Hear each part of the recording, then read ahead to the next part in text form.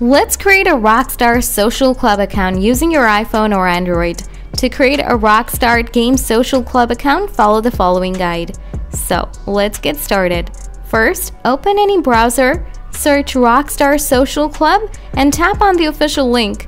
After coming, log in interface. Tap on sign up and now enter your date of birth.